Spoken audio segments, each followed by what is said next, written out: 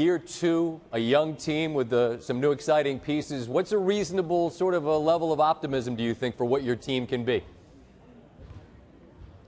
Well, uh, Scott, I'm a very optimistic person, so I'm always uh, I'm always thinking good things are going to happen, and uh, we're very excited down here as far as getting getting ready to finally start training camp. We've had uh, we've had optional workouts all summer long, and our guys have been in here, uh, you know, being you know working hard in the weight room, individual work. Uh, so I'm optimistic that we're going to see that culture kind of start to come, uh, you know, come out this season.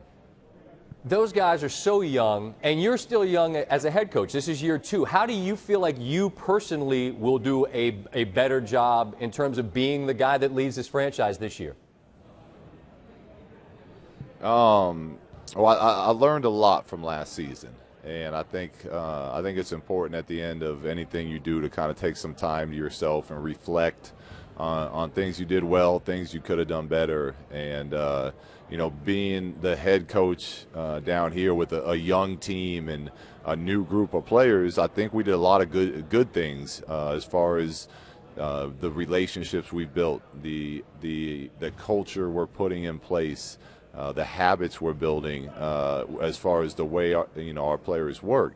Uh, now, there's also a lot of things that I, in hindsight, should have done better. And, and with a young team, uh, I think I gave way too much information last year. Uh, so that's just an example of it. But I feel like I've grown a lot from last year, and I'm looking forward to to learning more this year and, and putting putting some new things into play.